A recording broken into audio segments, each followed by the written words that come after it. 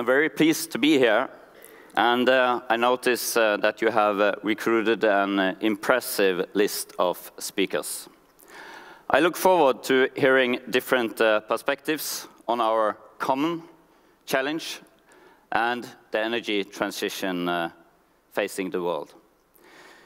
We will hear the views uh, from the industry, academia, and the research communities. Last but absolutely not least, I really look forward to interesting discussions with the students. There is a lot we do not know about our energy future, but we can be certain about one thing. In order to solve the challenges that lie ahead, we need to recruit the best young minds and talents. The students are the future of the energy industry. We face an enormous um, challenge. We must uh, produce enough energy for the world population that is growing. Something wrong?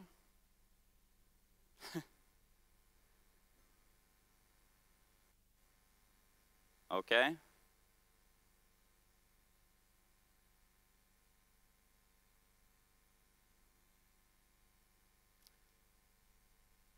Is the microphone working? No? Yes? Okay. Then I'm talking.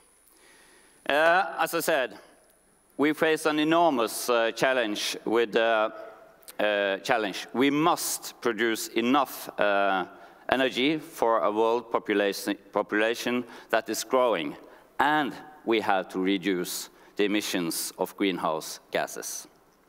In 2050, there will be 10 billion people on our planet.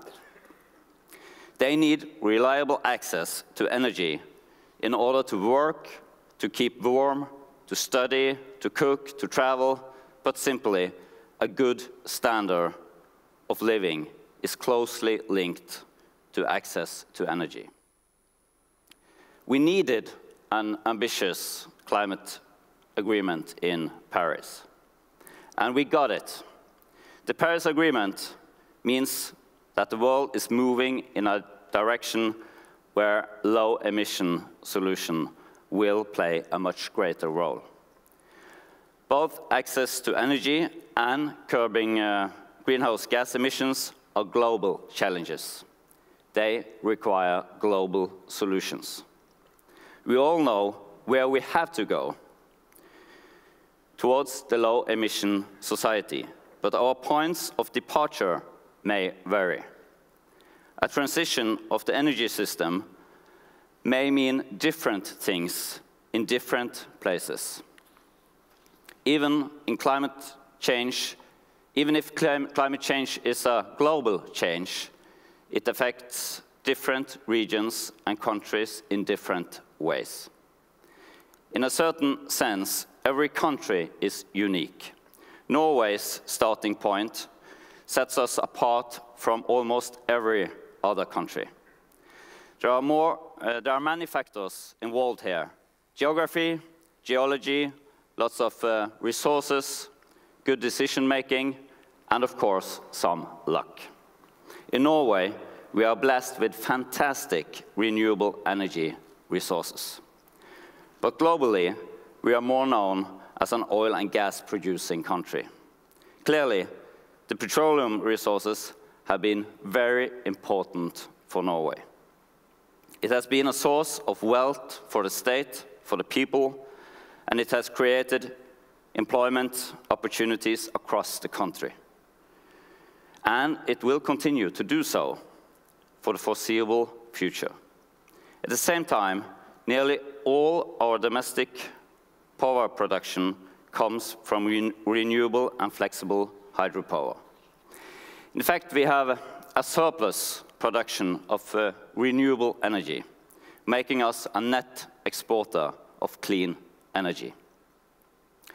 Nearly all projections, projections indicate that Norway will enjoy a, a, a, an abundance uh, of renewable energy for a long time to come. Because of this, The energy transition in the Norwegian context is more relevant in transport, industry, and uh, agriculture, and not in power generation as in most other countries. We have to look at how the energy is both produced and used, and make sure we do it as efficiently as possible. A robust and efficient power system is a precondition for a low-carbon society. In this context, Norway has a head start. Then, what about um, oil and gas? Approximately half of the Norwegian emissions are covered by the ETS, the EU trading regime. This includes um, industry, aviation, and of course, the petroleum sector. Moreover, in 1991, Norway was one of the first countries in the world to introduce a carbon tax. Therefore, the oil companies on the Norwegian continental shelf has a strong incentive to reduce emissions from their activities. As a result, emissions from the Norwegian petroleum sector is lower on average than in other petroleum provinces. I believe the use of the price mechanism is the most effective way to achieve CO2 emission reductions. Efficient policies are crucial for success, and we need a framework that trigger the most cost-effective way to reduce emissions. This is working with the market, not against it. Speaking about markets, Norway is uh, closely connected to our neighbors, both our Nordic and continental neighbors. What matters for Europe matters for Norway, and I would argue that it works both ways. Norway is a partner for the energy transition um, uh, that is going on in Europe in several ways. First, we are a large and dependable supplier of natural gas to the European market. Norwegian producers, uh, production of natural gas covers almost 25% of gas consumption in the EU making us the second largest exporter of uh, gas after Russia. And, as it was said, we will continue to be a large supplier for decades to come. Gas can contribute to decarbonization in two ways. As a reliable partner for renew renewable energy, especially for days and nights without sun or wind and as a replacement for coal. This is a quick and cost-effective way to cut CO2 emissions. Coal is, after all, one of the biggest drivers on climate change. Second, Norway is also closely connected to the European power market. We have long-standing experience of power exchange in the Nordic countries. We will continue along, that, uh, along this path. New interconnectors to both Germany and UK are currently being built. They will allow for even more flexible power supply and will ensure efficient use of our resources and a better utilization of the energy systems. Again, I would like to highlight the importance of the market. Well-functioning and efficient European energy markets are vital for the clean energy transition. Market-based solutions and efficient price signals should remain the guiding principles of the energy markets. But even more simply, a green revolution, a green shift, cannot have a red bottom line. That is not sustainable over a long run. These are sound principles which should be a central part of our response to the energy transition ahead. At the same time, predicting the future can be really risky business. Most of, most of the time, the only thing we can say quite safely is that we do not hold all the answers today. But I know this, new knowledge, research, and innovation are necessary. To reach our objective of a low-emission society, we must successfully develop, adapt, and implement new technologies in several areas. Some might be minor improvements to, really, uh, to already existing technologies. Others may be truly groundbreaking and bold innovations. In any case, we need them all.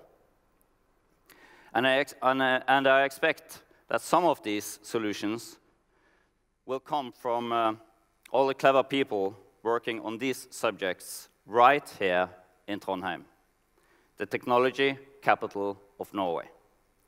Research and technology development is a central priority of this government.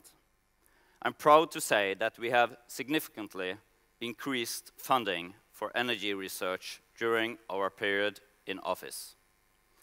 The funds available need to be used as efficiently as possible. That is why collaboration between the industry and academia is so important. The new centers uh, for environmentally friendly energy research, the FMEs, play a key role. They are in the, in the forefront of our research and innovation efforts to create the energy system of the future. In this context, I would like to uh, commend the er NTNU and the entire Trondheim, Trondheim establishment for their valuable contributions. Excellent work has been done in the energy field. I trust that there is more to come. I have made the point that the energy transition is a global process. Our research and technology development efforts must follow suit. That's why Norway, along with 19 other countries, launched the Mission Innovation during COP21 in Paris. The aim is to accelerate efforts to develop and use low-carbon technologies. In order to achieve this, uh, the countries will at a minimum double the public investment in research and development of environmental environmentally friendly energy over five years. Innovation and research in energy is an essential part of a long-term global response to the joint challenge that climate change represents.